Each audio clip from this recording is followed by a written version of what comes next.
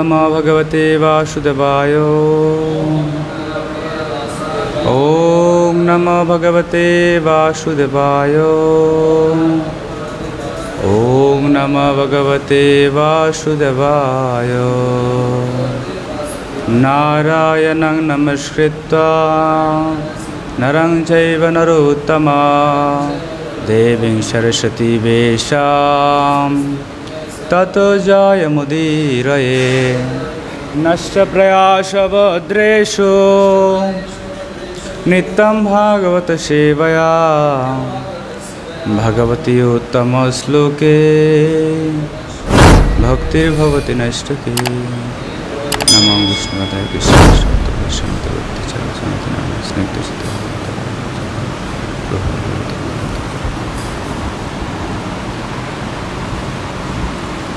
হরে কৃষ্ণ।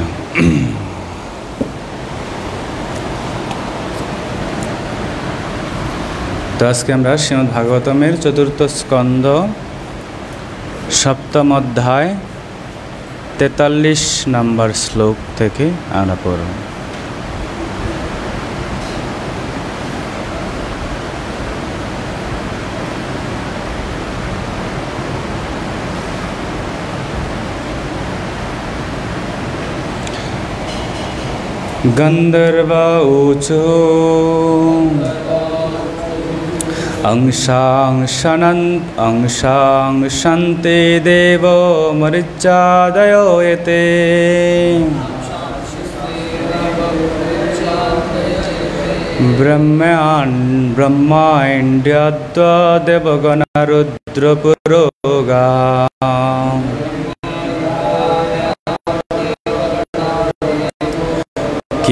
क्रीडावण्डं विश्वमिदं जस्य विभुमन् तस्मै नित्यं नाथ नमस्ते करवम् अंशा अंशास्ति देव मरिच्चादयते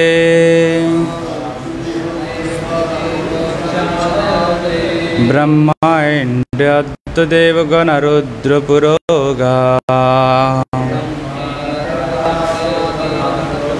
किरावण्डं विश्वमिदं यस्य विभुमन्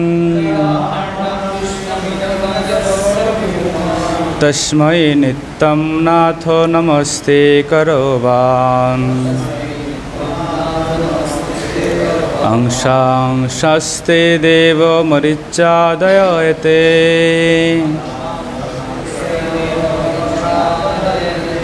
ब्रह्माण्डत्ता देवगणरुद्रपुरोगा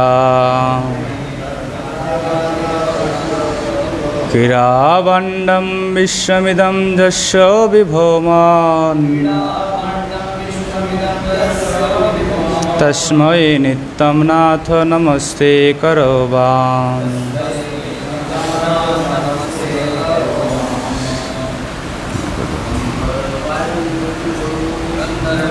ऊचो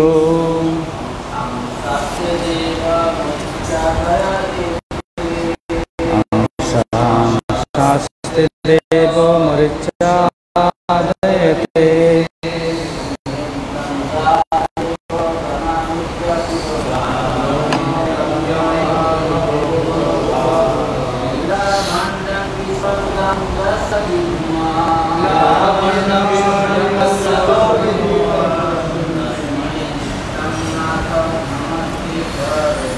तस्मै नित्यनाथं नमस्ते करोवा गन्धर्वाचु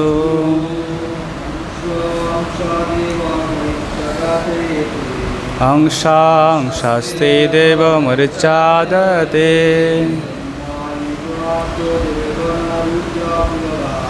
ब्रह्माण्डदेवगणा रुद्रपुरोगा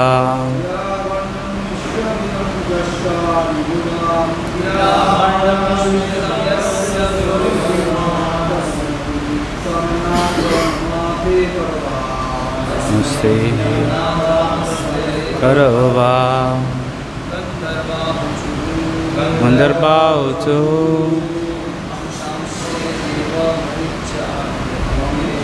अंशांशस्ति देव मरिच्चादते।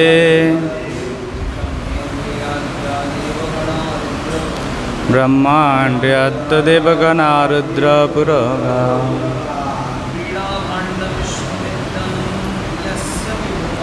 किरावण्ढं विश्वमिदं विश्वविभुवम्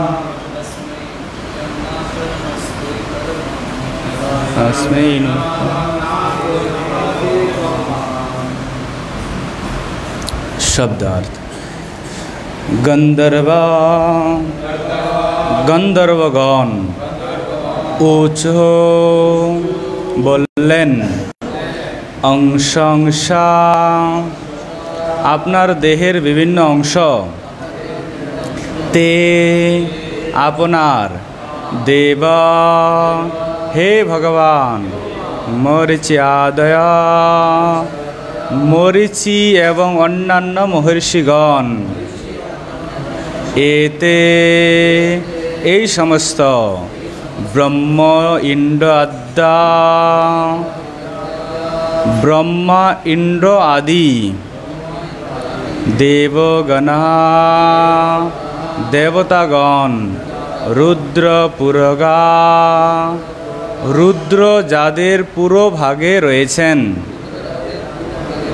কীরাবান্ডম কীরার উপকরণ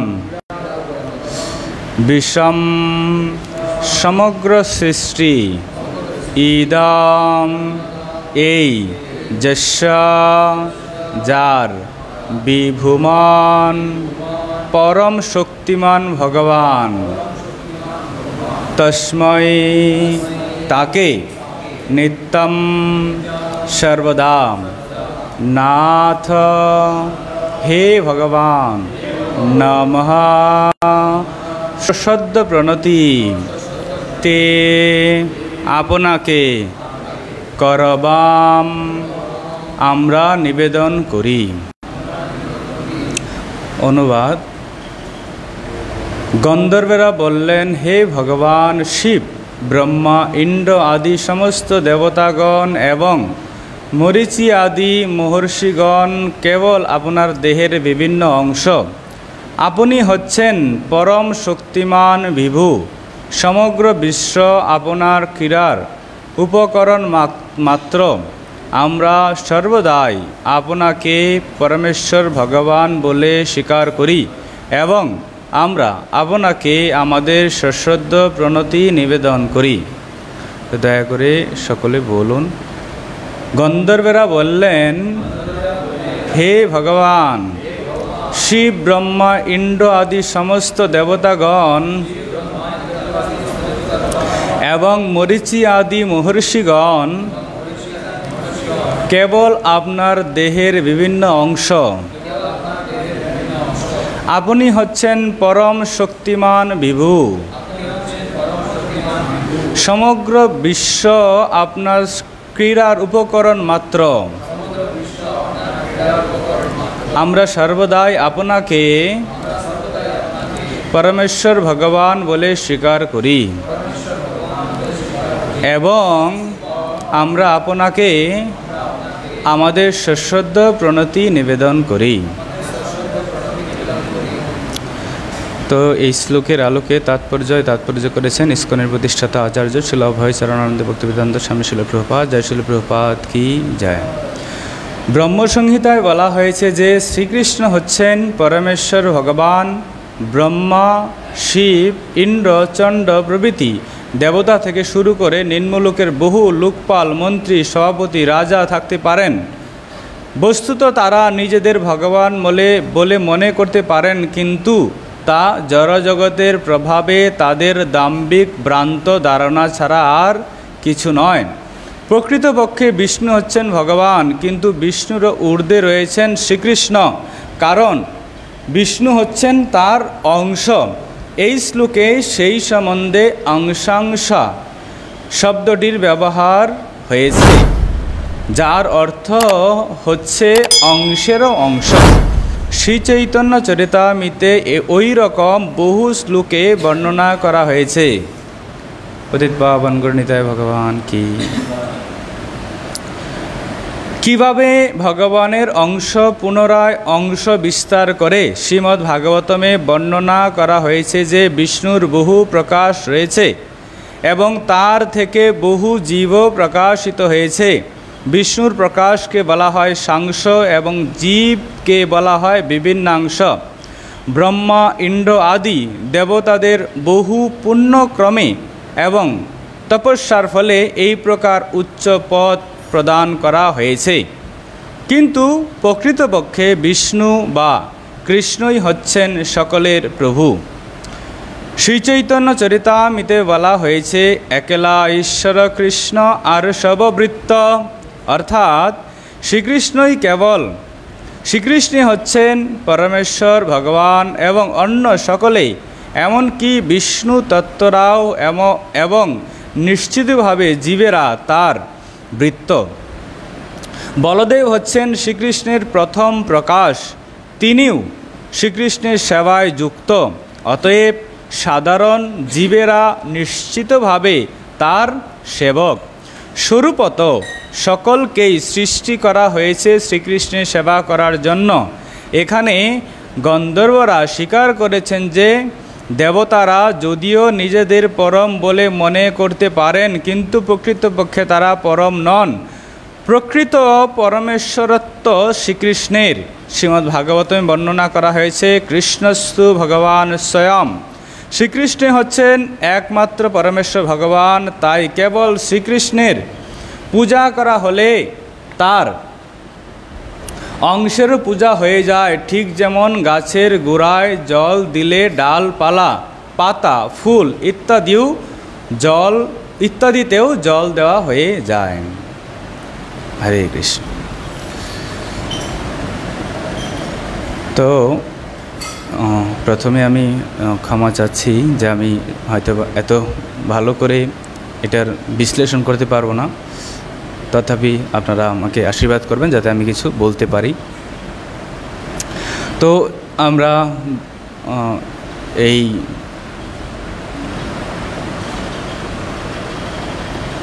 এই অধ্যায়ে দেখছি কীভাবে এই দক্ষ যজ্ঞ নাশ হয়েছিল।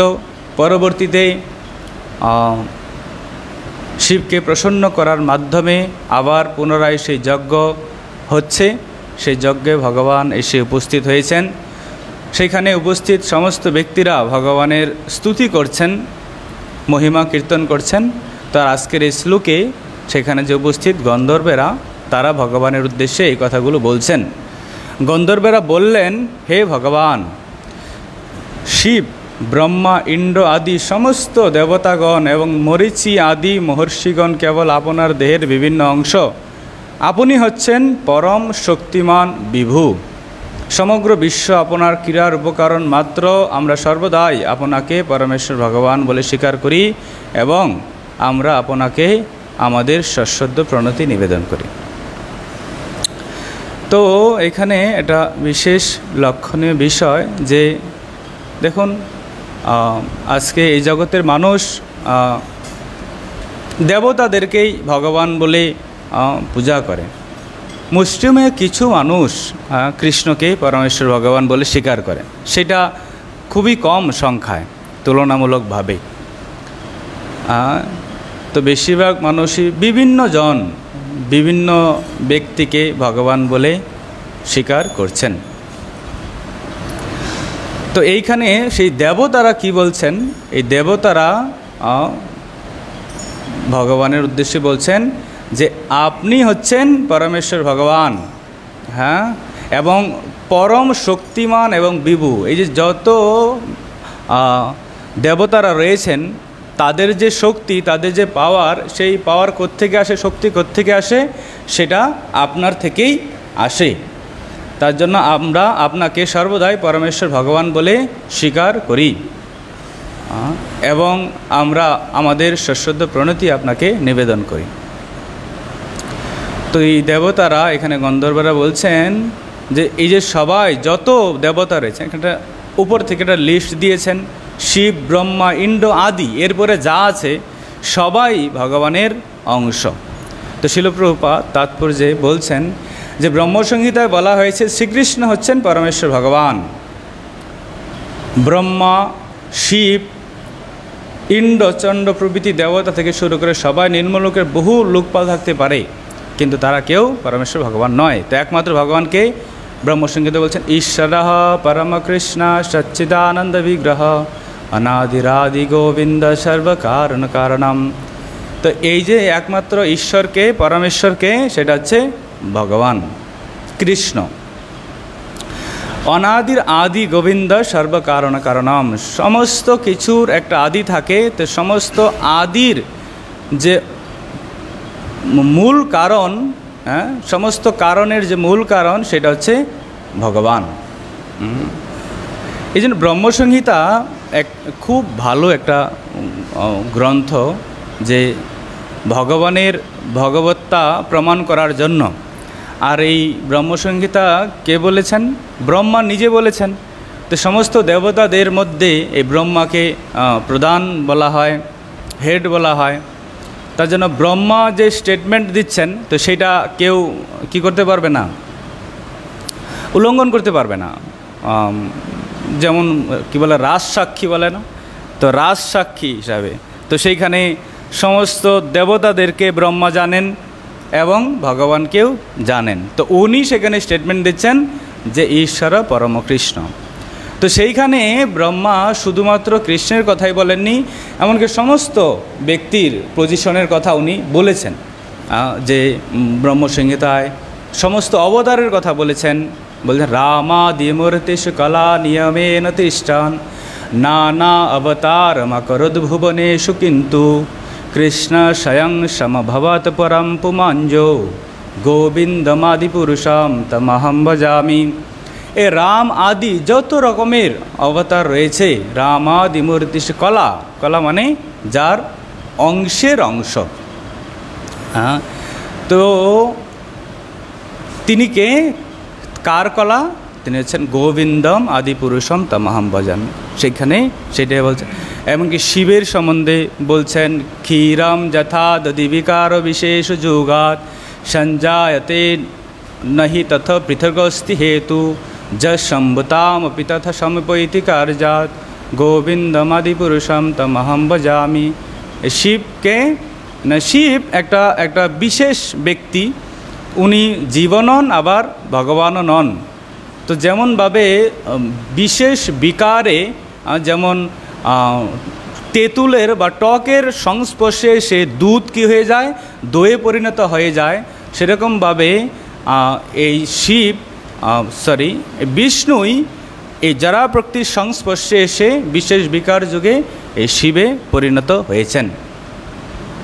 তো প্রপাত বলছেন যে এই যে দুধ, দই হতে পারে, কিন্তু দই কখনো দুধ হতে পারে না। তো সেইভাবে দুর্গা দেবীর সম্বন্ধে বলছেন, সৃষ্টি, স্মৃতি, প্রলয়, সাধন শক্তি রেখা, ছায়ে বজস্ব ভুবনানি বিভূতি দুর্গা। এই যে দুর্গা দেবীকে যার হচ্ছে ছায়া শক্তি এই দুর্গাদেবী বলছে যার ছায়া শক্তি এমনই কী করছেন উনি? ইচ্ছা অনুরূপ অপি যস্য চ চেষ্যতে সা। ভগবান যেরকমভাবে ইচ্ছা করেন, ঠিক অনুরূপভাবে উনি কি করেন? এই জগৎ পরিচালনা করেন। কৃষ্ণ ভগবদ্গীতায় বলছেন মাইয়া দক্ষিণ প্রকৃতি শ্রিয়তে সচরাচরম। তো এই যে এই প্রকৃতি যে পরিচালনা করছেন, সেটা আমার অধ্যক্ষতা আমি তাকে যেভাবে যেভাবে বলি, সেইভাবে উনি কী করেন? এই জগৎ পরিচালনা করেন। সেখানে গণেশ, সবাইকে গণেশকে সিদ্ধিদাতা বলা হয়। তাই যে গণেশ যে সিদ্ধি দেওয়ার ক্ষমতা সে কোত্থেকে পেল? হ্যাঁ সেইটা ব্রহ্মসঙ্গীতে বলছেন, যত পাদ যুগম বিনিদায় কুম্ভ, দন্দে প্রণাম সময়ে শগণধিরাজ বিঘ্নান বিহন্ত মলমস্য জগত্রয়স্য গোবিন্দমাদি পুরুষম ভজামি। এই যে- ভগবানের শ্রী পাদ পদ্ম তার কুম্ভ তার মস্তকে ধারণ করেন আর তার শক্তিতে শক্তিমান হয়ে বিঘ্নান বিহন্ত মল্লামস্য জগত্রয়স্য এই ত্রিজগতের যিনি বিঘ্ন বিনাশ করেন, তিনি এই তিনি কার থেকে শক্তিপ্রাপ্ত হন তিনি হচ্ছেন গোবিন্দম আদিপুরুষম, তমহম ভজামি। ব্রহ্মা নিজের কথাও ব্রহ্মসংহিতায় বলছেন। ভস্মান যথাস্ম কলেশু নিজেষু তেজ স্বীয়ম ক্রিয়ট প্রকটদ্যপি যদ্বদত্র ব্রহ্মা স্বয়েশ জগদণ্ড বিধানকর্তা, গোবিন্দমাদিপুরুষম তমহম ভজামি।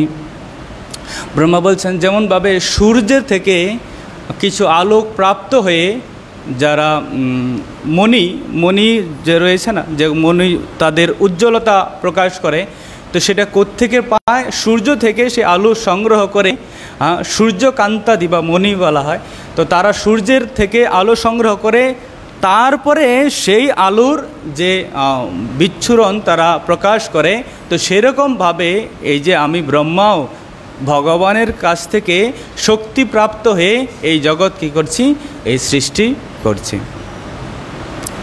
সেই জগৎ সৃষ্টি করছি।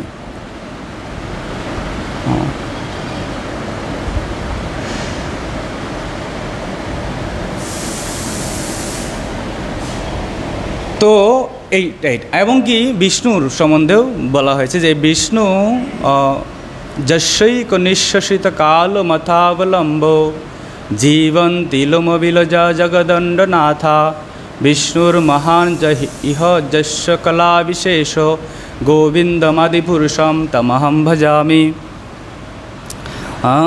যশৈক নিঃশ্বাসিত কাল মথাবলম্ব জীবন তিলম বিরজা জগদণ্ড নাথা এই জগতের না যে ব্রহ্মা যার যশ এক নিঃশ্বাসিত কালো মতাবলম যার এক নিঃশ্বাস মাত্র বেঁচে থাকেন তিনি কে তিনি হচ্ছেন বিষ্ণু আর তিনি যার অংশ তিনি হচ্ছেন কে গোবিন্দম আদিপুরুষম তমহম ভজামি তো গুরু মহারাজ এখন বলছিলেন যে, এই যে ব্রহ্মসংহিতায় এই কৃষ্ণ ভাবনা বা কৃষ্ণকে পরমেশ্বর ভগবান বলে প্রতিপন্ন করার সর্বোত্তম এক গ্রন্থ।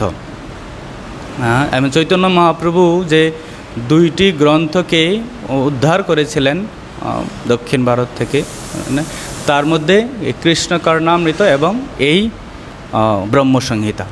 হ্যাঁ, এই ব্রহ্মসংহিতার মাধ্যমে আমরা সেটা ভালোভাবে জানতে পারছি যে কে হচ্ছেন ভগবান।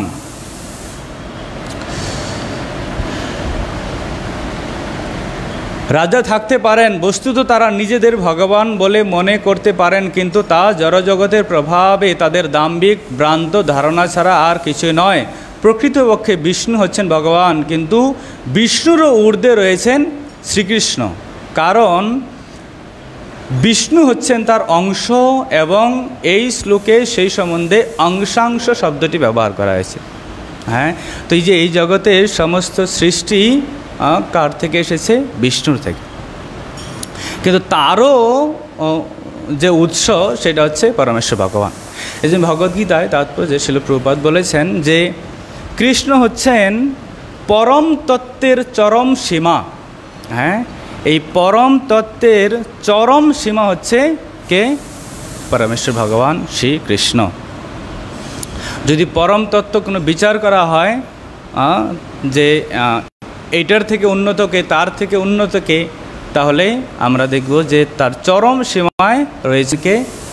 পরমেশ্বর ভগবান শ্রীকৃষ্ণ। তো এইভাবে সব কিছুর একটা বিচারের বিষয় থাকে। আমরা দেখতে পাই চৈতন্য মহাপ্রভু যখন রামানন্দ রায়ের সাথে আলোচনা করছিলেন, তো সেইখানে রামানন্দ রায়কে বলছেন যে রামানন্দ রায়, তুমি দয়া করে এই যে সাধ্য, সাধন তত্ত্ব যে কি, সেটা তুমি আমার কাছে একটু বর্ণনা করো। হ্যাঁ কীভাবে সেখানে স্টেপ বাই স্টেপ সেই প্রন্থা বলা আমরা একটু সেটা দেখব যে সেইখানেও কীভাবে সে বিচার করছে, যে এ কার থেকে কে, কোনটার থেকে কোনটা উন্নত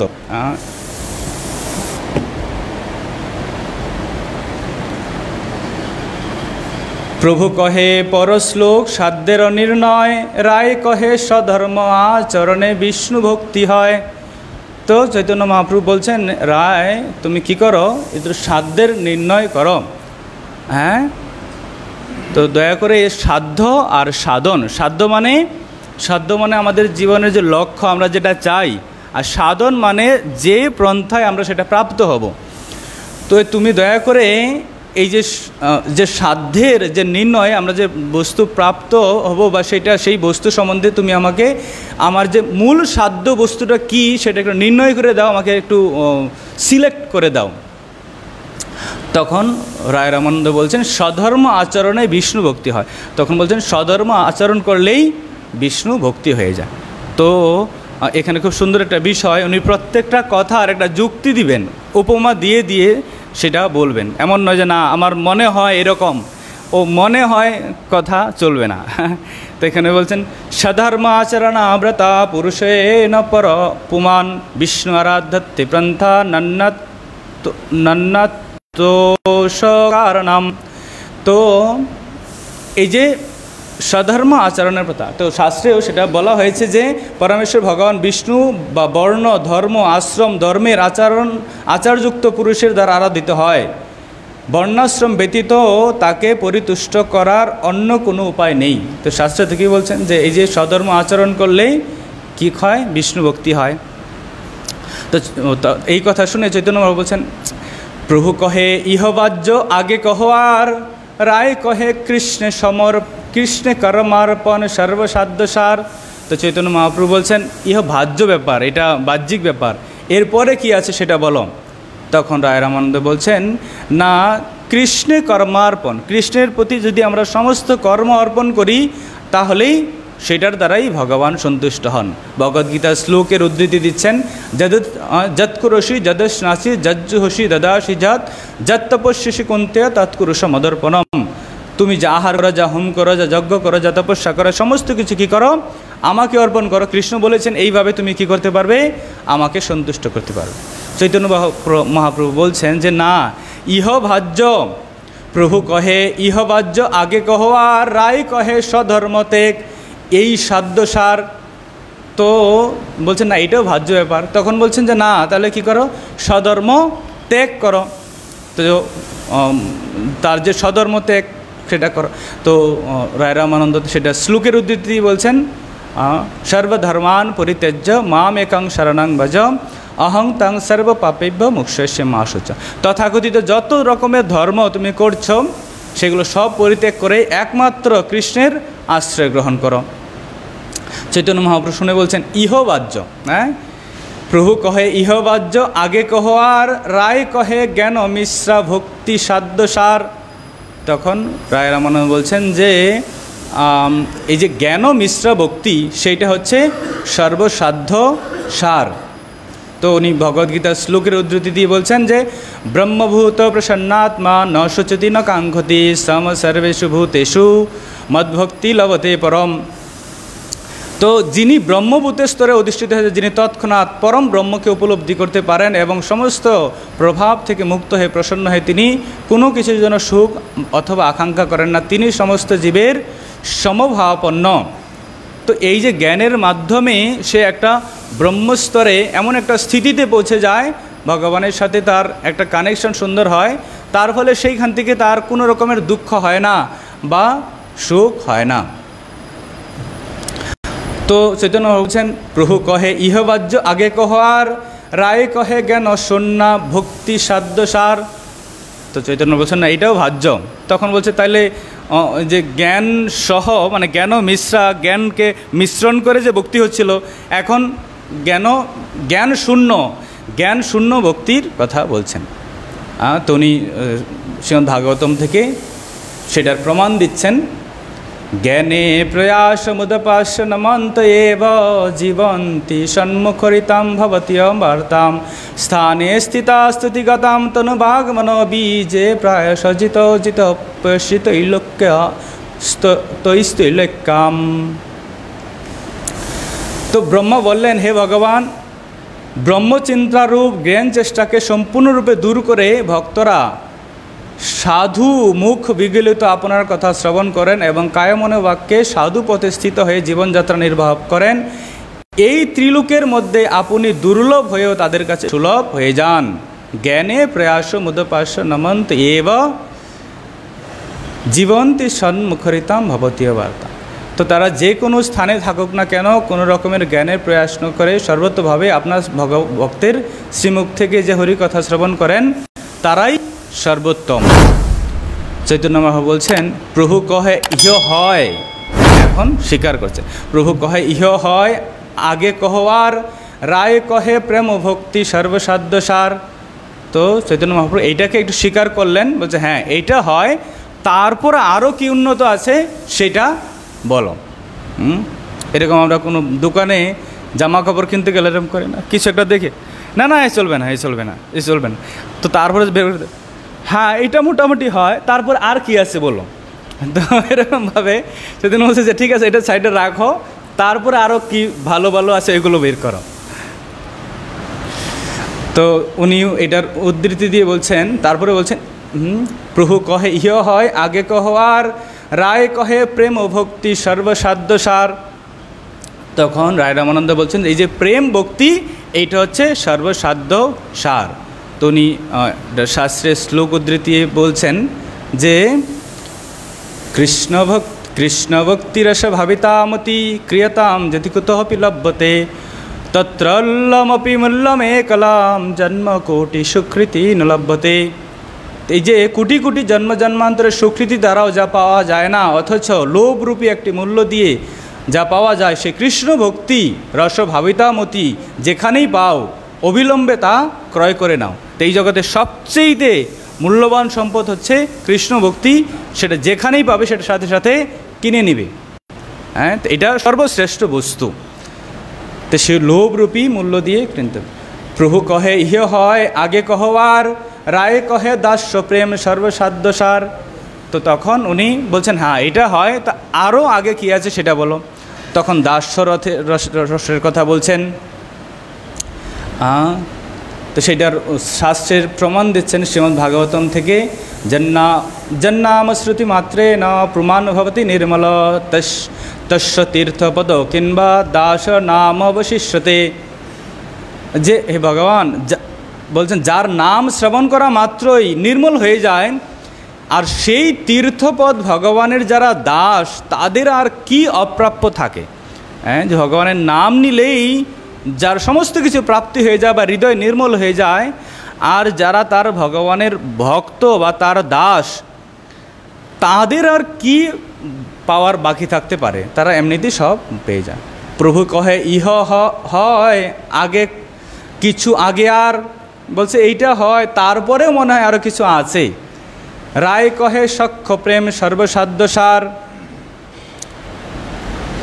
তো উনি এইভাবে বলছেন, সক্ষ, সেরা, তারপরে বলছেন বাৎসল্য, আর তারপরে বলছেন মধুর হ্যাঁ? অন্তিমে গিয়ে উনি বলছেন যে, এই যে মধুর রস, এটা সর্বসাধ্য সার। সেটা কীরকম? তারপরে উনি একটু বর্ণনা করছেন জয়পতিত পাবন গণিতে ভগবান কি? তো একটু বর্ণনা করছেন কৃষ্ণ প্রাপ্তির উপায় বহুবিধ হয়। কৃষ্ণ প্রাপ্তি তারতম্য বহুত আছয়। কৃষ্ণ প্রাপ্তির উপায় বহুবিধ হয়। কৃষ্ণকে প্রাপ্ত হওয়ার জন্য বহু উপায় থাকতে পারে বা আছে।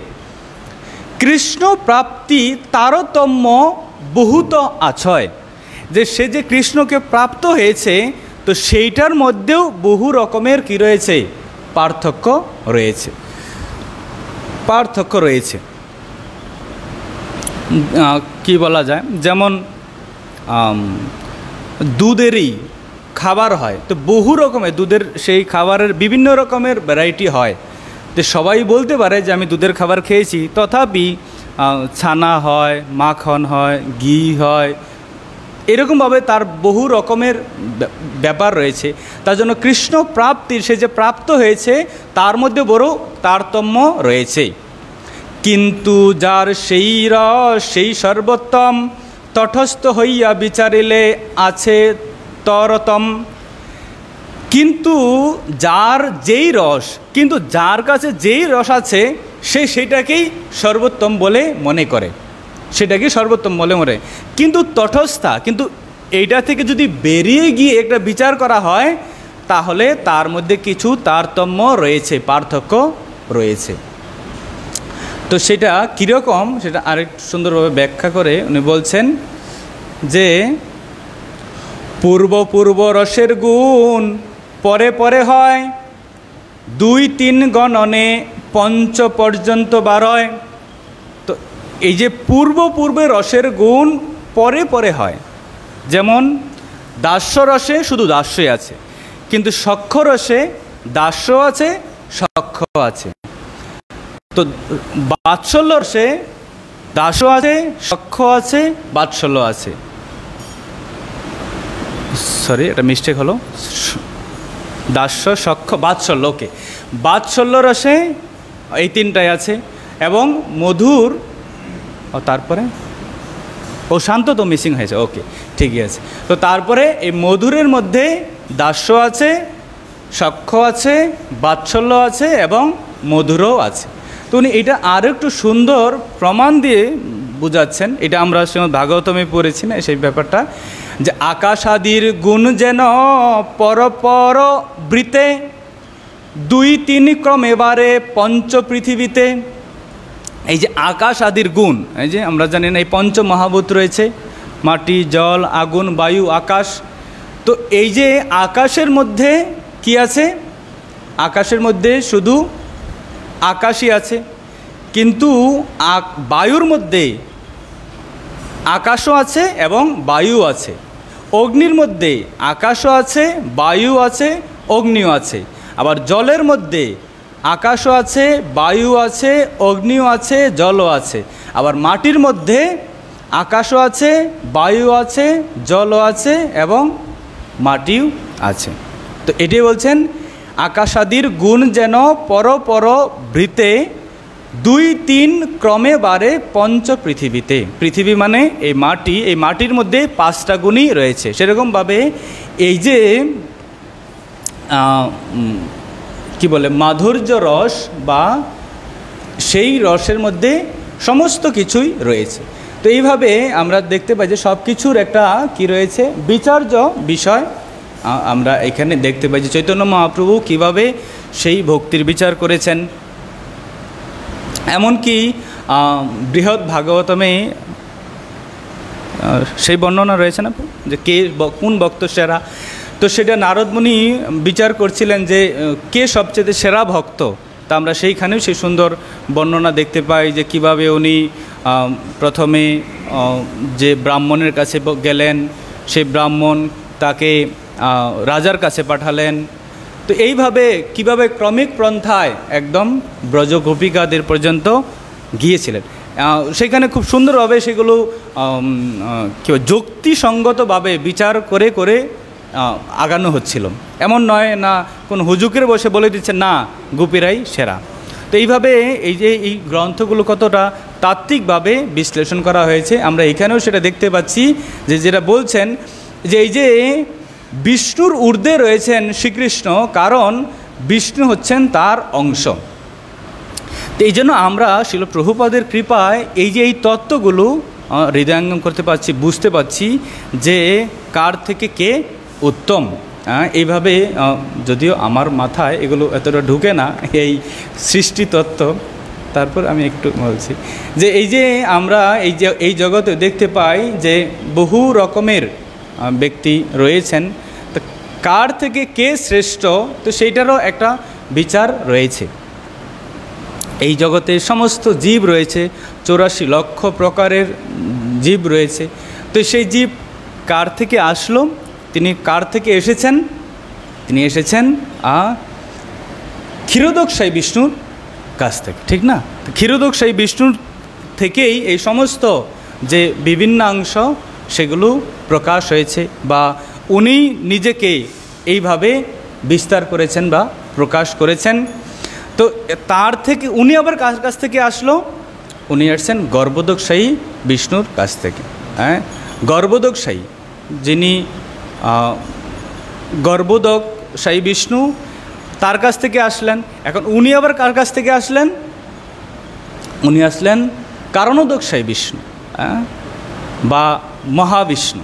এই কারণোদক সাই বিষ্ণু হচ্ছেন কি? আমরা বললাম না, ঈশ্বর পরম কৃষ্ণ সচ্চিদানন্দ বিগ্রহ, অনাদিরাদি গোবিন্দ, সর্বকারণ কারণম।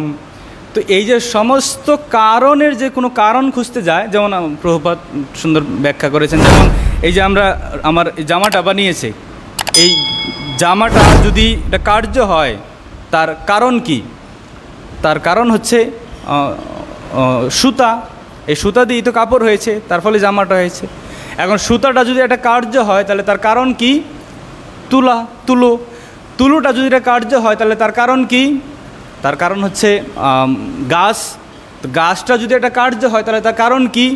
বিষ তো কৃষ্ণ ভগবদ্গীতায় বলছেন, অহম বীজ প্রদাপিতা। তাহলে আলটিমেটলি এই যে আমি যে জামা পরে আছি এই জামা কে দিয়েছে বা কার কাছ থেকে এসেছে?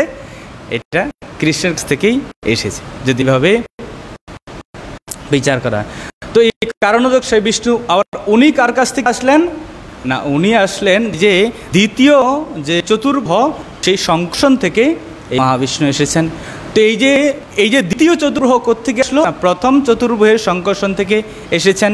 তো এই প্রথম চতুর্ভুহ থেকে আসলো, না, সে বলরাম থেকে এসেছেন। বলরাম থেকে আসলো, তিনি কৃষ্ণ থেকে এসেছেন। তো এইভাবে আমরা সেই বিচার করতে দেখছি যে কীভাবে এই জগতের শ্রেষ্ঠত্বের যদি প্রমাণ করা হয়, তাহলে কৃষ্ণ আলটিমেটলি সর্বোচ্চ স্থানে রয়েছেন, যেটা শিলপ্রভুপাত বলছেন যে, এই যে পরম তত্ত্বের যদি বিচার করে যাওয়া হয় করতে করতে একদম একদম ফার্স্ট ক্লাস সর্বোচ্চ স্তরে কে রয়েছেন? চরম সীমায়, সীমানা মানে লাস্ট বর্ডার সেই বর্ডারে কে আছেন? সেটা হচ্ছে কৃষ্ণ। তো সেটাই এখানে বলছেন যে শ্রীমদ্ ভাগবতম বর্ণনা করা হয়েছে যে বিষ্ণুর বহু প্রকাশ রয়েছে এবং তার থেকে বহু জীবও প্রকাশিত হয়েছে। বিষ্ণুর প্রকাশকে বলা হয় সাংস এবং জীবকে বলা হয় বিভিন্নাংশ। তো এই যে বিষ্ণুর প্রকাশকে বলা হয় সাংস তাহলে বিষ্ণুকে কি বলা হয়? বিষ্ণুকে বলা হয় অংশ। অংশ থেকে তারপরে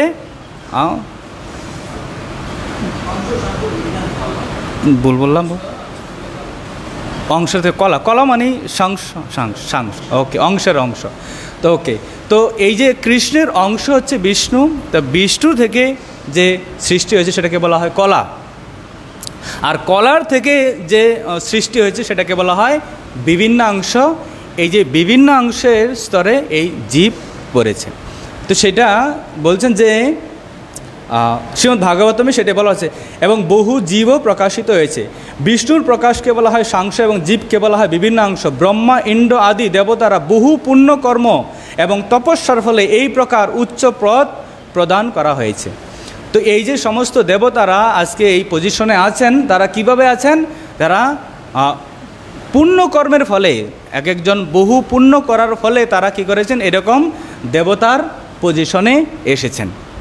দেবতার পজিশন আজকে আমরা দেখতে পাই যে আমাদের এই এই ভারতবর্ষ পরিচালনা করার জন্য যারা মন্ত্রী এপি এরকম পজিশনে যায়, তারাও কি করেন? হয়তো বা টাকার জোর বা ক্ষমতার জোর, কোনো একটা জোর দেখিয়ে দেখিয়ে আস্তে আস্তে আস্তে তারা উঠে। তো সেরকমভাবে এই যে দেবতারা আজকে দেবতাদের পজিশনে আছেন, তো সেটা তাদের পুণ্যকর্মের ফলেই। ঠিক মনে নেই। এই ব্রহ্মার পজিশন পেতে হলে এক হাজার এক হাজার জনম হ্যাঁ।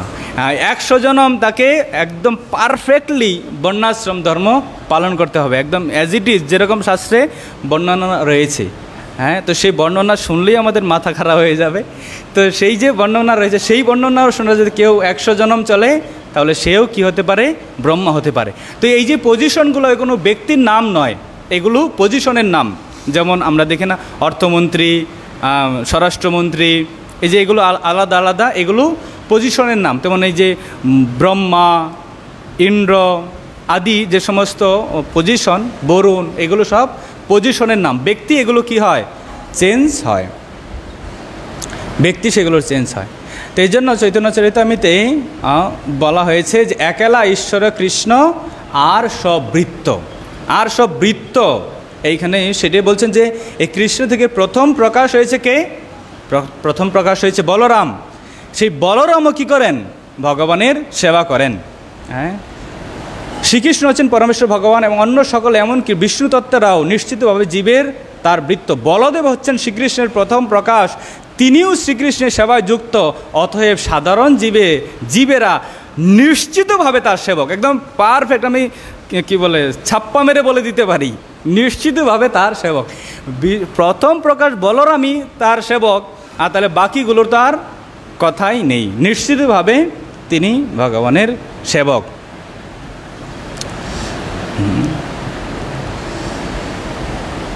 তিনি শ্রীকৃষ্ণের সেবায় যুক্ত। জীবেরা নিশ্চিত সেবা। স্বরূপত সকলকেই সৃষ্টি করা হয়েছে শ্রীকৃষ্ণের সেবা করার জন্য। স্বরূপত মানে স্বরূপগতভাবে জীবের স্বরূপে হয় নিত্য কৃষ্ণ দাস। তো জীবের যে স্বরূপগতভাবে তারা হচ্ছে কৃষ্ণের দাস, তাদেরকে সৃষ্টি করা হয়েছেই ভগবান কৃষ্ণের সেবা করার জন্য। তো এইভাবে আচার্যর উপমা দেন, যেমন আমাদের এই যে হাতের আঙ্গুলগুলো কেন সৃষ্টি করা হয়েছে? আমাদের সেবা করার জন্য হ্যাঁ? সেবা করার জন্যই তৈরি এখন যদি সেটা কাজ না করে, সেবা না করে, তাহলে সেটা কি করা হয়? অনেক সময় হাত থেকে কেটে ফেলে দেওয়া হয়।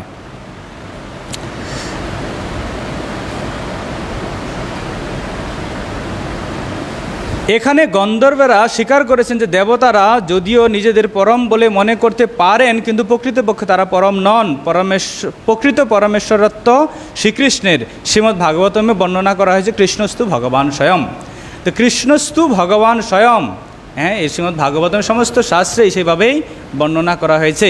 শ্রীকৃষ্ণ হচ্ছেন একমাত্র ভগবান, তাই কেবল শ্রীকৃষ্ণের পূজা করা হলে তার অংশেরও পূজা হয়ে যায়। ঠিক যেমন গাছের গোড়ায় জল দিলে ডালপালা, পাতা, ফুল ইত্যাদিও জল দেওয়া হয়ে যায়।